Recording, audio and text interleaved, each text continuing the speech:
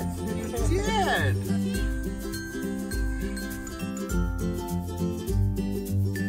No, it should be on our right.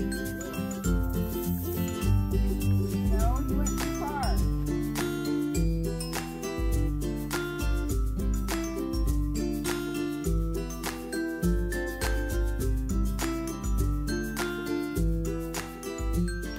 I'm Angie Treinen, and Alan and I own the corn maze, the Treinen farm, and um, I'm the corn maze designer and the marketing person and the hiring person and pretty much everything that involves not farming.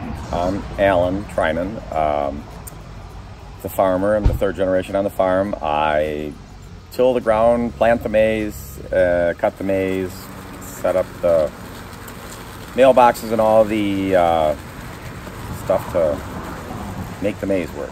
Everybody believes it's cut with GPS, and it's not. We lay out a grid and stake it out every 15 feet at a time, and we use paint and little surveyor's flags to mark it. We mow the trails and then rototill them. I've had people ask me if we do a new, a different pattern every year, which which we do, and it, it it's a kind of a big deal for us to pick out a design and um, a theme. Usually when I do the maze design, I want I want the central figure, you know, whether it's a trilobite or a unicorn uh, or a crane, but then I have to think about all the, the different levels um, that we will also include so there's good stories for the staff to tell. In 2001, it was a horse and cart.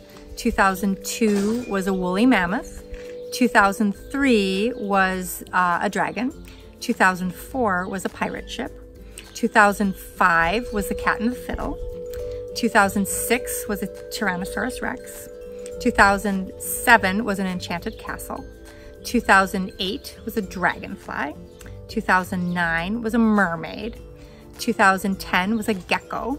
2011 was the myth uh, Icarus. Uh, 2012 was uh, the um, Da Vinci's Vitruvian Man. 2013 was the Kraken, which is a mythical squid creature.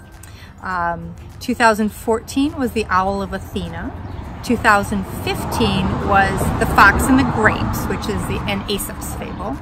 2016 was Rainbows, Kittens, and Killer Baby Unicorns. 2017 was a trilobite. 2018 was The Elephant's Child, which is the story of how the elephant got his trunk. 2019 is The Dance of the Cranes. My deadline for knowing what the design is going to be and starting to get some things on either paper or Illustrator is the day that Alan plants the corn maze. So he'll plant the corn maze usually the first week of June. And so then I'm like, okay, my mental clock is ticking. I've got about 10 days before he's going to want the design.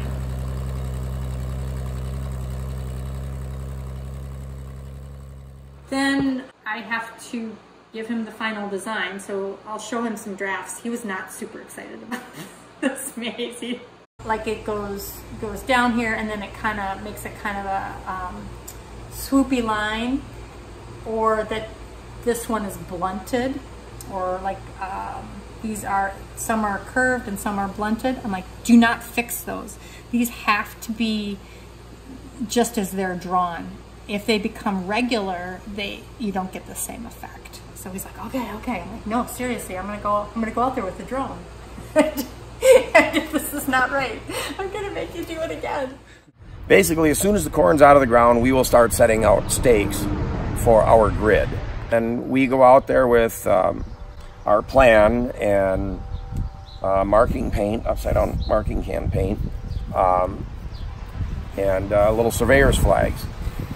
And we'll start laying it out. I'm laying out the part of the wing and I just painted because there's a little bit of an arc here. So then when I mow, I know that there's an arc and it's not just a straight line. Anytime um, on our grid on the map, anytime the trail crosses a line, um, we find that point and lay that out. If they are new at laying the maze out, um, I'll have two people working and actually I'll start them and have them work towards each other because then if they don't meet, somebody messed up. Then we will you know, mow those trails. There are several companies uh, in the United States that will design and cut your maze for you. Um, 19 years ago, we looked into it and it was $8,000. But uh, if I've got a good crew out there, we can have it done in four or five days. Mowing it is one thing, rototilling it is another, because the, the tractor and the rototiller is not as nimble. You know, you can get a zero turn mower out there and do anything you want.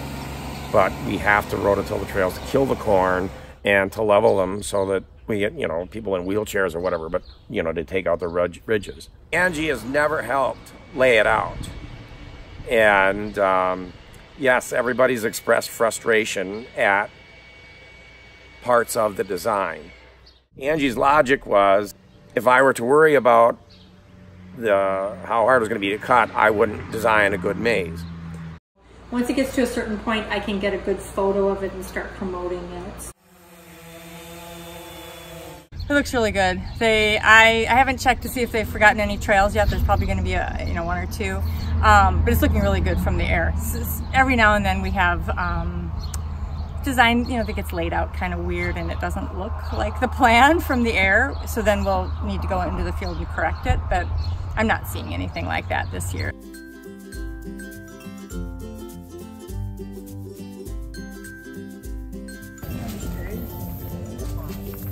I think we should go down the neck. neck? So this way? We did this. Okay. Yeah. Mom, we don't want to.